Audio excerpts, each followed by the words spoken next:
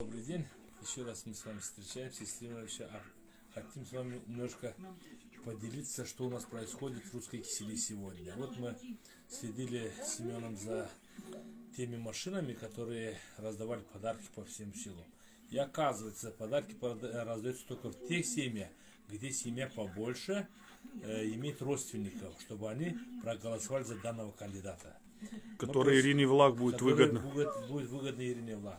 Ну, говорится, как за Ивана Коса. Мы вот сейчас зашли в один дом, где есть многодетная, многодетная семья. семья и женщина-инвалид. Этот дом они сегодня пропустили. Ну, мы благодаря э, нашим широким душам, чем могли, помогли этим женщинам. Но самое интересное, что э, вот э, женщ, э, женщина объясняет, что для ее ребенка не делают операцию она имеет двухсторонние паховые грыжу. грыжу. Они никак не может добиться того, чтобы сделать ей операцию. Я хотел бы узнать, Ирина Федоровна. Сейчас я...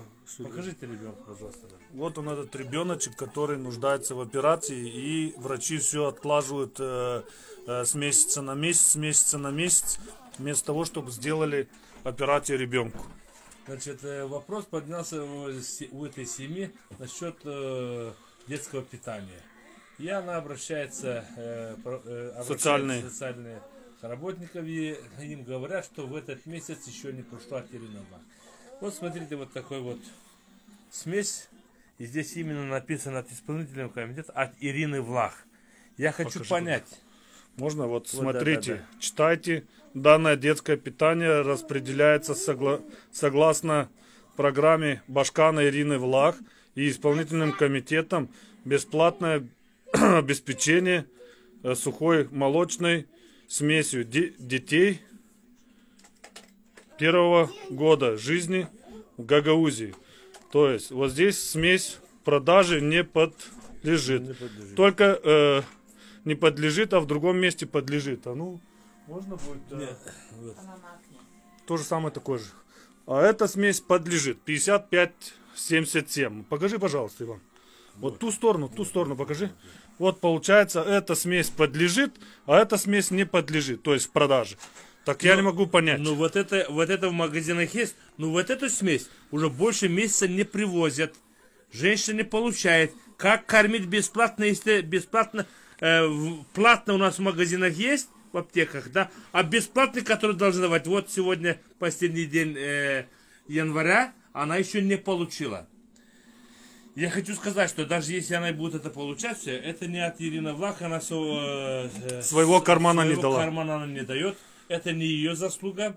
Значит, э, почему здесь не упоминается э, э, народное собрание? Почему? Потому что без народного собрания никому никакой смесь не положено. Все законы, все э, проекты утверждаются, выдвигаются народным собранием. Почему здесь об этом ничего не говорится? Сегодня Ирина Влах пытается еще раз обмануть наших жителей и поставлять свою фамилию на этих э, э, смесях. Я бы попросил ее, сама бы она сейчас родила, она еще может родить. И пускай она живет вот в таких условиях, что живет эта женщина сейчас.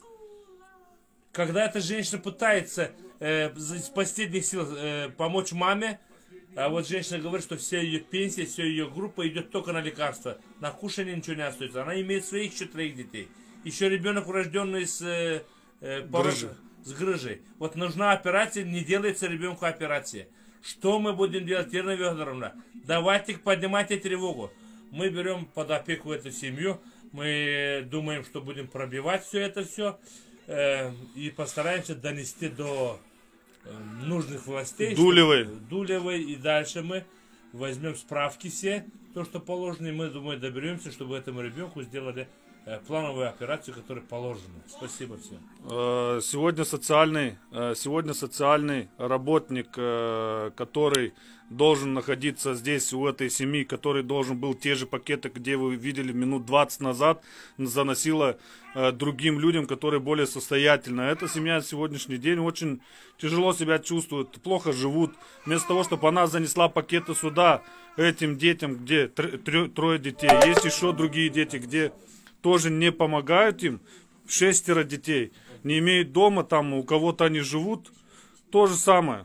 То есть обделяются определенные жители. Я хотел бы просто опять продемонстрировать, Ирина Федоровна, как вы э, скажете, как вы сможете рассказать насчет вот этого всего, что эта сухая смесь не продается, а здесь она, оказывается, продается в магазине. Расскажите, пожалуйста, как мотивация вот этого всего вашего, опять какая-то предвыборная агитация или что это такое? Вот, видите, это не я печатал, не я клеил, а это перед Новым годом раздавали. Это как понимать? Вот вот так вот делайте выводы, друзья. Что у нас сегодня Ирина Федоровна Влах сегодня себя продвигает только как хочет. У вас есть что сказать в отношении этого? Я не буду снимать вас. Не хотите? Вот так вот, уважаемые друзья, такой беспредел. Есть сейчас э, еще одна семья, мы поедем туда. А, я бы хотел, бы, чтобы э, Илья Узун увидел, что происходит. И от Ирины Федоровны Влах, что она здесь, здесь делает, ее команда раздают и обделяет определенных жителей э, русской кисели, села русской кисели, так скажем. Ладно, мы сейчас поедем в другую семью тоже и хотим пообщаться. Там шестеро детей. Мать-одиночка, да, я как понимаю, Иван? Сейчас тоже туда поедем, пообщаемся.